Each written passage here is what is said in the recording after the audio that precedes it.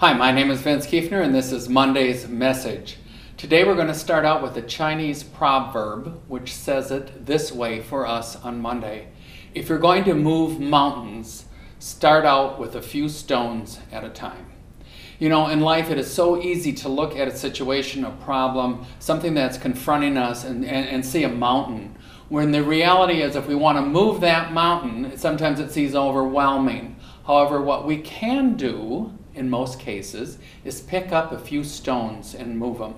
On this Monday, really, all you have to do to make your life better, if you want to move that mountain, is pick up a couple stones and move them. You can do that, I know you can. You have a great Monday, as I know you can.